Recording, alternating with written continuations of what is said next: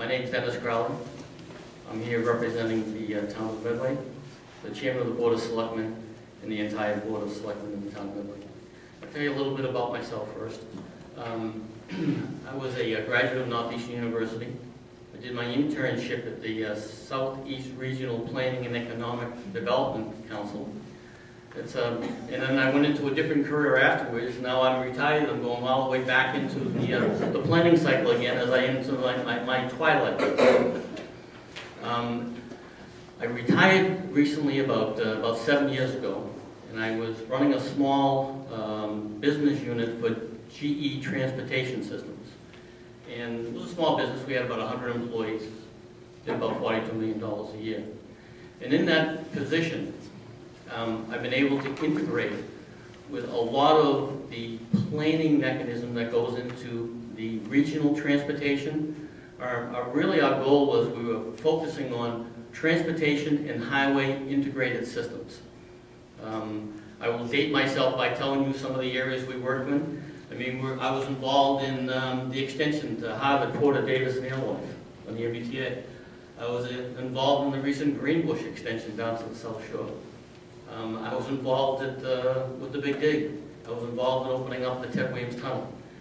Um, I've been involved in a number of design and build projects where you need to have the expertise of planning, financial, scheduling, and understanding how the system works.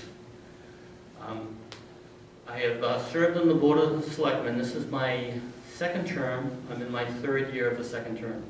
And I wouldn't be here unless I love the position and enjoy what I'm doing. Uh, the, the, little town of Medway is, is, almost like, what are we doing here? Well, Medway is a very small town. We have 13,000 people in our community. We're surrounded by Frank. A lot of people probably don't even know what Medway is, particularly, I'll tell you one thing I was impressed with, is when I looked at the map of how far-reaching uh, MPO is, and I look and I see Rockland, and we go all the way out to Bolton, and Acton, and Scituate, and Stoughton. It's 101 communities. I never realized how large it really was. And then in this, what's important to look at is there's some major cities in that region. But importantly, there's a lot of small town communities like the Medways and the Actons and the Boltons and the North Readings. And I was impressed by, one of my concerns that I really have is the, is how do we, how do we focus on, on fair and equitable distribution of funds that come in from the federal government. I mean, the cities have their infrastructure problems. They have their transit environment. The transit, I'm a, I'm a big supporter of, of, the transit systems and the expansion of transit systems. These park and rides, problems with the park and rides parking lots aren't big enough, quite frankly.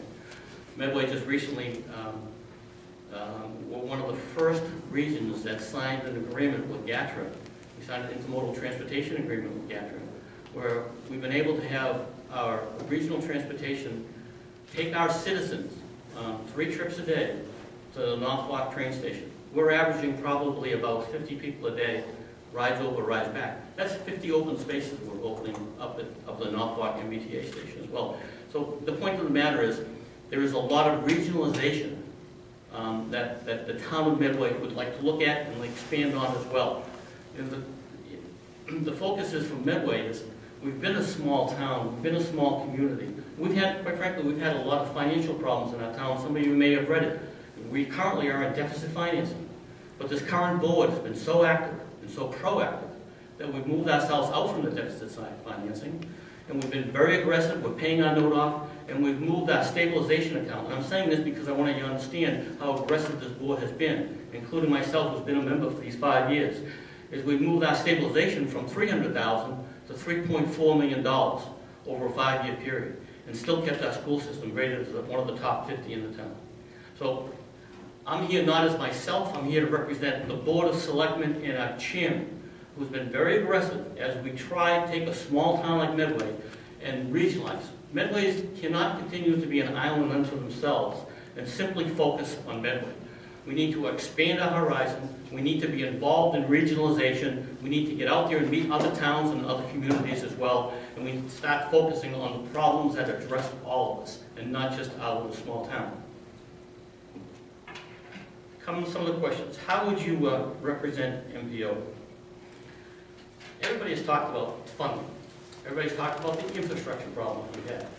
You know, we have current, we have current infrastructure problems, but uh, quite frankly, I'm more concerned about our future infra- infrastructure problems. And where are we going in the future? If we drive down, I still call it 128, not 95 north, I age myself by saying that.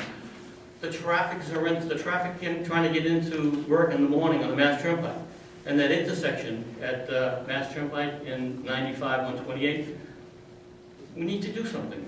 And I, those are the focuses, the areas that I think that we as a region, North Reading, Cohasset, all have to look at because it affects all of our residents as we move to the future generations as well.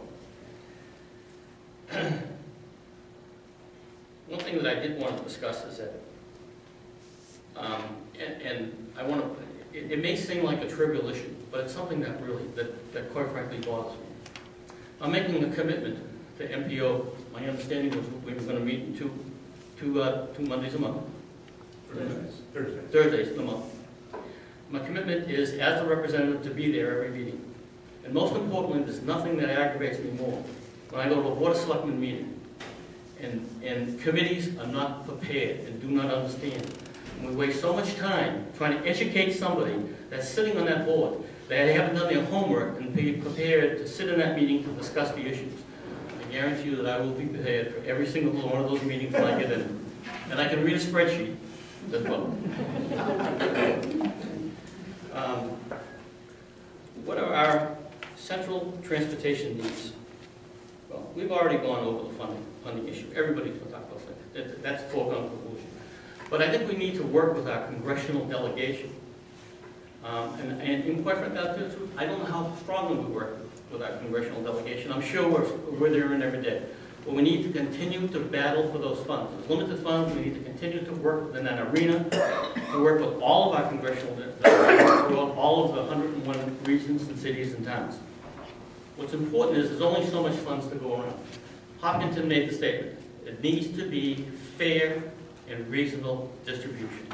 We have cities that have problems, we have small towns that have problems, and we need to find the balancing act to be able to satisfy both the needs of the cities and the small urban towns and cities as well. And finally, in all due respect to Hopkinton, and Hopkinton's been a friendly community of ours as well, and Hopkinton has been on the board for 13 years and done an admirable job. It's our opinion that it's time to have some new fresh blood. It's time to have new ideas, new innovations. We've taken Medway from the brink of bankruptcy to 8% of our, of our, uh, our budget is stabilization. Not many towns can say that. So with that in mind, we think that it's time just to make a change, to bring some fresh ideas to the MPO board. We've been very aggressive in the swap with our Paul Yorkis, who's representing us. We've been very aggressive at MAPC with Chan Rogers, who's been representing us. And I promise you I'll be very aggressive in MPO to represent those 101 cities and towns from the North Shore, South Shore, to the western part of the state. Thank you very much.